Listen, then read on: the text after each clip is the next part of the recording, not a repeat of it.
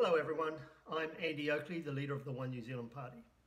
This is the second in a series of videos in which I'm explaining our economic policy which is based on macroeconomics.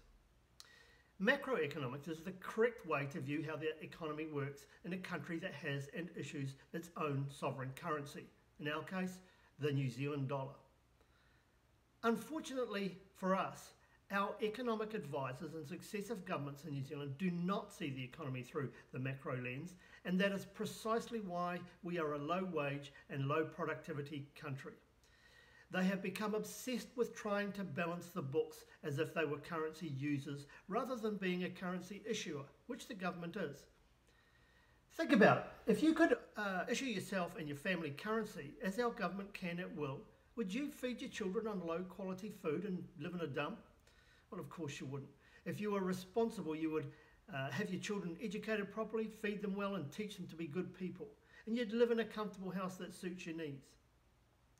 Our government have the ability to provide the citizens of New Zealand everything they need to live comfortably and safely, including a health system that can take, of, need, uh, take care of the needs of all, free education, modern infrastructure, and to, uh, infrastructure and to pay the pensions of those who have worked all their lives and who are now retired. They don't have to put up the pension age and they don't have to be miserly with the pension payouts. They just choose to. In a macroeconomic environment, the only limit on spending is the productive capacity of the country. Not the amount of tax revenue they take from businesses and private citizens, or the public debt, uh, debt level to GDP ratio, which is another stupid rule the current economic advisors have the government obey. So let's just look at what this public debt really is, because you'll be surprised. It's not debt at all. Let's imagine that the budget announcement, that at the budget amount, uh, announcement, the government state that they will issue $100 billion into the economy, which is pretty much what uh, Grant Robertson just did. X amount on health, X amount on education, infrastructure projects, etc. Grant Robertson then states that they calculate tax revenue and earnings of, of 80 billion. Because they are obsessed with balancing the books and following the silly rules in the Public Finance Act, they think that they must raise another $20 billion from somewhere. Under the current system, how they get that extra 20 billion is that is they issue interest attracting securities in the bond market. Mum and dad investors, private investment companies, banks, and even other, even other countries snap these up. The $20 billion is deposited into our reserve bank. The purchasers hold a bond, and everyone's happy that we have enough reserves, reserves to, stay, uh, to stay solvent. The downside is that everyone now believes that we are in debt. And not only do we have to repay these institutions, we also have to pay interest on the loan. Every year they do this, the public debt levels rise. And at present, they are scaring you all by stating that the government debt, known as the public debt, is about $157 billion. But wait, if you remember the video that we did about deficits, the $20 billion difference between what the government spent, spent into, uh, or issue into the economy and what they get back in tax is still in the economy. It must be. They spent it in there, and the only way to get it out is to increase taxes. But the thing is, they don't need the $20 billion. The government can issue currency at any time it chooses. We do not operate under the gold standard anymore. The New Zealand government are the sole decision maker as, as to when and how much currency they issue. Every time the government issue currency or pay for anything, it is a new dollar, and they do it with a keystroke. They do not need to, need to reach their hands into the reserve banks and pull dollars out to spend them. At present, though, as a result of poor economic advice from the neoclassical economists and poor legislation in the Public Finance Act, successive governments who are ignorant about the economy are running an accounting system that is full of needless rules and uh, which is, encourages them to try and balance the books.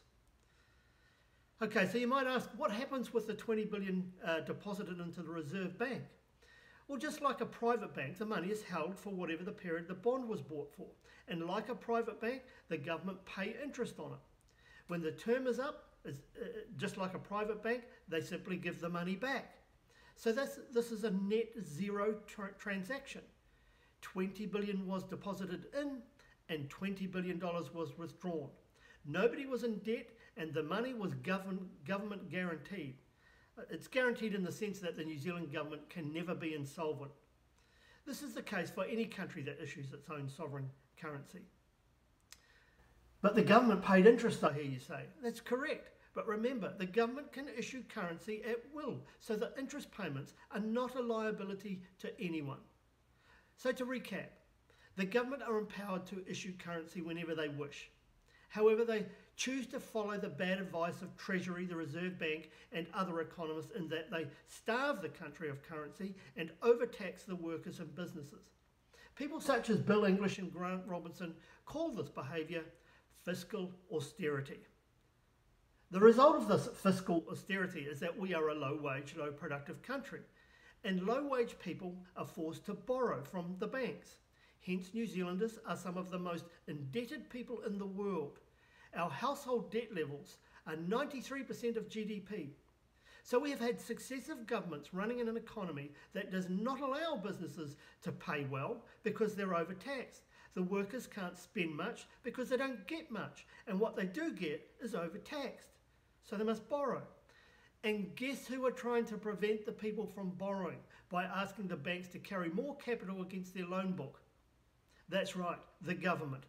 So they are squeezing the economy into submission at both ends, and you, the public, are voting them in.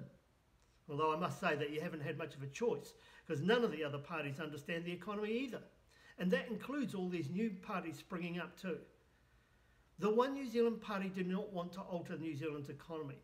We want to lower the tax burden by going to a flat 20% tax for workers and 28% for businesses.